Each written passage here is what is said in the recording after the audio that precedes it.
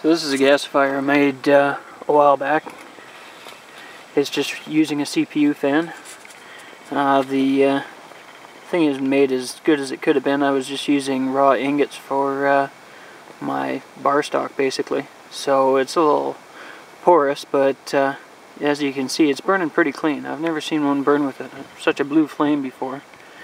Uh, right now, most of the chips are done basically is just uh, it's burning this clean because it's burning with a lot of uh, carbon monoxide instead of uh, actual wood gas.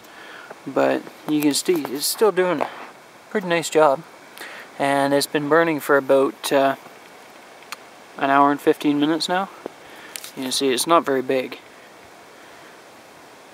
But uh, still producing lots and lots of heat uh, running with an 18650 uh, 5 volt CPU fan, blower type, which is a lot better than trying to use a, uh, a standard fan type for this kind of application.